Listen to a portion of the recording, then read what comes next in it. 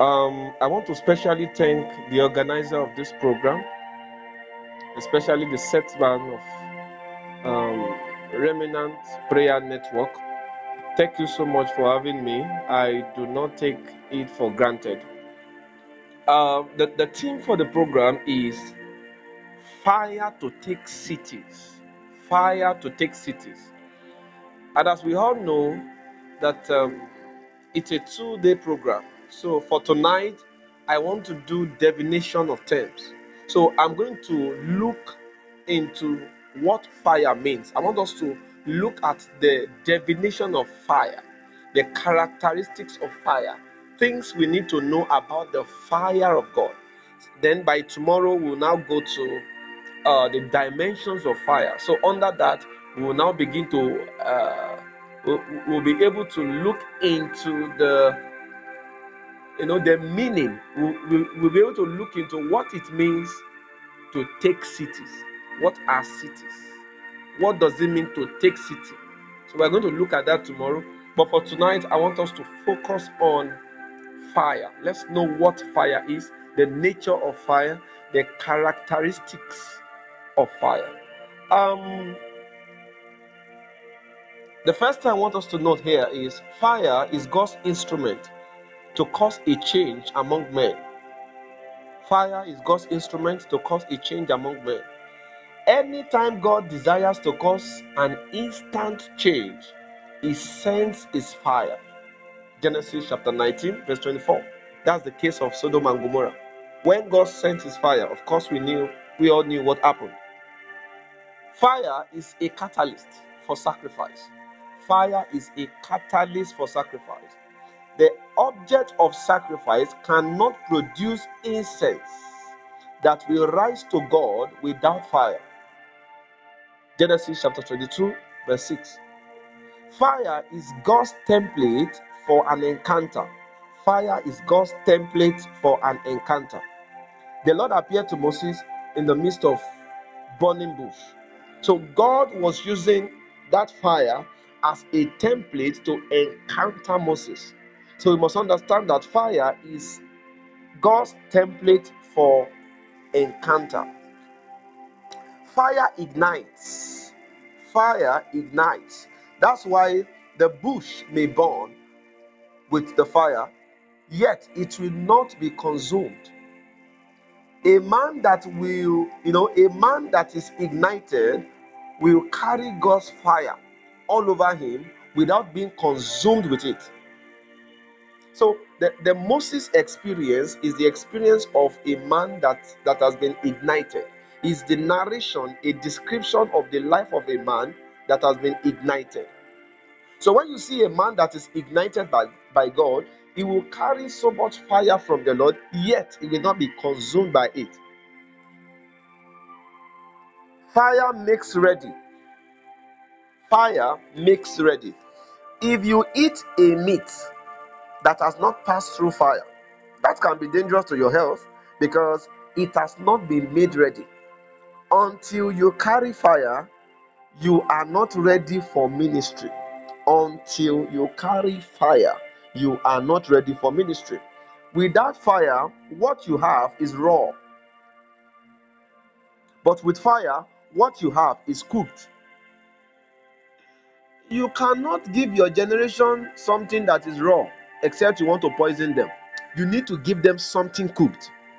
And you cannot have something cooked without fire because what cooks is fire. So, a man that goes into ministry, anyone who dabbles into ministry without the fire of God, will be a disaster waiting to happen. Why? Because he will go along with raw things. He will begin to give his generation raw things to eat instead of giving them cooked food. And you know what happens when you take in raw meat? So, fire makes you ready for ministry. Exodus 12, verse 8. Um, cooking here means checking. Not every doctrine can be swallowed. Check it before digesting it. It takes fire to cook, meaning it takes fire to check. Many people just swallow every doctrines they see. Whatever they see trending, they believe it. Why? Because they like fire. It takes fire to cook. And the word cook there means check. It takes fire to check and know that which is truth. It takes fire to check and know that which is coming from the Spirit of God. Many cannot even check to know what is safe and what is not safe because they lack fire. Fire is God's torchlight. When God wants to lead you by His light, He sends His fire before you. When God's fire goes before you,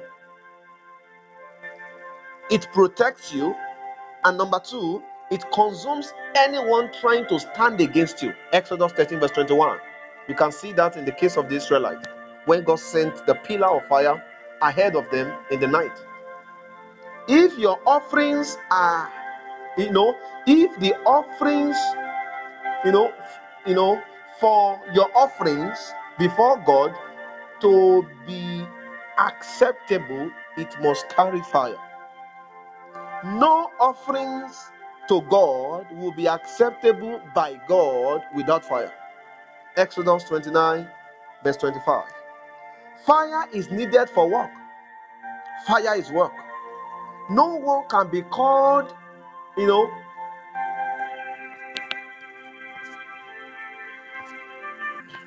no one can be called a firebrand if their life lacks fire. To be working is to be fireful. Fire is the fuel for doing spiritual work. You want to work for God, but you don't have fire. It's not possible. You want to take your generation, but you don't have fire. It's not possible. You want to take cities, but you don't have fire. It's not possible. Fire is the fuel for working for God. Until you have the fuel, you will only desire the work, but you lack what it takes to do it. It's not about desiring. You need to have what it takes to do what you desire until you have the spiritual fuel, which is the fire, you cannot do the work of the kingdom. To kindle fire is to start working because fire is work. Exodus 35, verse 3. Fire is sustained by orderliness. If you see a burning altar, you don't just throw your wood into it to make it burn. The wood must be positioned orderly to make the fire burn. If you want the fire to burn consistently, then the wood must be positioned orderly. Leviticus chapter 1, verse 7. The wood will be laid orderly in the fire, and the meat to be roasted must also be laid on the wood in an orderly manner. Then Leviticus chapter 1, verse 8. There is an attitude you must have if you want to profit from the fire of God. You can see God's fire and still go back the same way you came without experiencing a positive change if you are not orderly. Maintaining the attitude of orderliness is what qualifies you for what the fire of God can bring. Leviticus chapter 1, verse 12. Sweet smell is what God wants to get from every sacrifice that is made unto Him. But we must understand that this sweet smell is usually hidden. Though the object of sacrifice has a sweet smell, but it is usually hidden in the object. It is until fire descends that the hidden smell in the sacrifice manifests. So your potential will not manifest until you are fire branded. Fire commands attention. Fire commands result. Fire is what brings out God's potential in you. Leviticus chapter 1, verse 9. The impact of God's fire on the lives of a believer is holiness. When that fire comes on you, it burns off every particle of sin and self. Holiness is not attainable without fire. When a man is refined by God's fire, the holiness nature of God suddenly begins to come out from him. That's the point where the supernatural becomes natural. You cannot get to that point in your life where you do, you know, you know, that point where you do supernatural things naturally and natural things supernaturally when you lack fire. It takes fire to make that a possibility. Leviticus chapter 2, verse 3. Nothing is qualified to be called an offering before God until it is clothed with fire. Fire defines what you bring to the Lord. No matter how expensive your gifts may be, if it lacks fire, then it can't be called an offering. Fire is the core part of an offering. Leviticus chapter 3, verse 5. Fire is God's trademark. One of the signs to show that your personal altar is recognized by God is that it has fire burning on it. The presence of fire on your on your altar symbolizes the presence of God in your life. When fire is on your altar, it means God is present in your life. Leviticus chapter 6, verse 13. Offerings are not only, you know, offerings are not only peculiar to God. You can give offerings to devils and you can give offerings to people. But if who you want to give offerings to is the Lord, then it must be branded with fire. That's the only pass mark. Leviticus chapter 7, verse 5. An altar, you know, on an altar, fire burns to purify and refine. While, you know, on other platforms, fire may burn to consume. The function of fire when it is on an altar is different from the function when it is not on an altar. So if you are standing on your altar with the Lord, when the fire of God descends upon you, it will purify you, it will refine you. Many people they cry for fire. Oh, fire, follow me. Oh, fire, follow me. My question is this where are you standing? If you don't stand on your altar and you call for fire, you will be consumed by the fire. it's not enough to call for the fire of God. Where are you standing?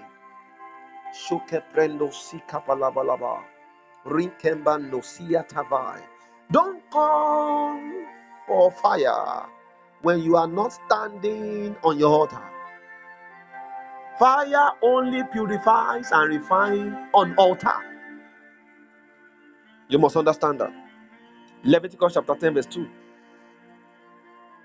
Calling for fire when you don't have an altar can be dangerous because if you must be refined and purified, then it must descend on an altar. Leviticus chapter 8, verse 32. The evidence to show that an altar carries fire are the coals of fire. Coals of fire are the result of a burning altar. Leviticus chapter 16, verse 12. Fire is God's instrument for judging wickedness. The wickedness of the wicked will not come to an end until there is an intervention of fire from the Lord. Leviticus chapter 20, verse 14. What burns on the altar of God is not just fire, but godly fire. It's not just any kind of fire. You must ensure that what you are bringing is a godly fire. What you are, you know, kindling is a godly fire. A godly fire is that kind of fire that is made according to divine prescription. You know, we have two type of fire: strange fire and godly fire. When you do things according to divine instruction, you will kindle a godly fire. But when you do things outside of God's instruction, you kindle a strange fire. And you remember what happened to Nadab and Abihu in the Bible? They kindled a strange fire and they were struck to death immediately. Strange fire can provoke strange response from the Lord. Anytime you present to God what was not given to you by God, you are bringing up a strange fire. Anytime you present to God what was not given to you by God, you are kindling a strange fire. A thief should not try paying tithes from his stolen money. That action won't make God overlook his sins, but instead, it will bring God's anger faster upon him because he is starting a strange fire.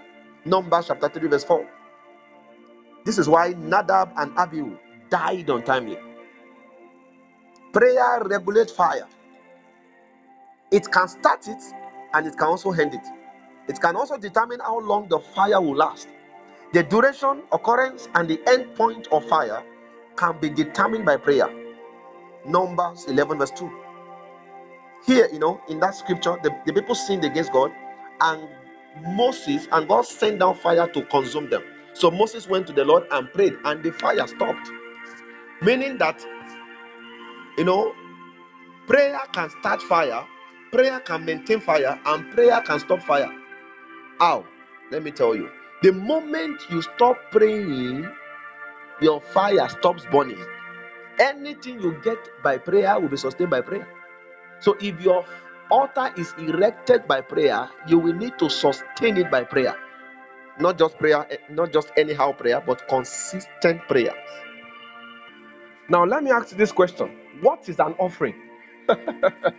Many of us think offering is that thing you hold in your hand, that money you have squeezed in your hand, and you are dropping it reluctantly in the offering box. Of course, no. So, what is an offering? Offering is defined in the book of Numbers, chapter 15, verse 25. An offering is a sacrifice made by fire unto the Lord. That's offering. If you like, come with billions. If that thing is not made by fire, if there's no fire on it, it will not go to the Lord. You have wasted your resources. No wonder many people give and they don't get reward. Why? They are trying to make a sacrifice to God and yet there's no fire.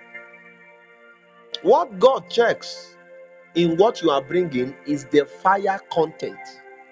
You must understand that. Numbers chapter 15, verse 25. Fire reserves and fire preserves. When fire descends on something, something that has a godly content, it will consume the carnal part of it and reserve the godly portion. This reserved portion we also need fire to be preserved. Numbers 18, verse 9. Fire is a spiritual grease that eradicates spiritual frictions. These frictions are the product of demonic arrows shot at us, but with the fire of God in us, we can nullify the effect completely. What happens to you when spirits, trained spirits, shoot their arrows at you? What happens to you? If you don't have the fire of God, you become a victim. May the Lord give you grace. May your altar keep burning. May you be fire branded in the name of Jesus. Receive a testimony of fire in the name of Jesus. I come against everything called lukewarmness in your life in the name of Jesus. Starting from now, your fire begins to burn for Jesus. It burns forever in the name of Jesus. Once again, thank you very much for having me. Thank you very much. I'm really grateful for you know for having me. You know, thanks to everyone that's a part of the program, the executives. Special, you know, my special thanks to uh, Bro Isaiah, set man of um, Remnant Prayer Network. Thank you very much for having me. I'm so honored, so grateful to be, you know, for the privilege to bless the people of God. Thank you so much. God bless you.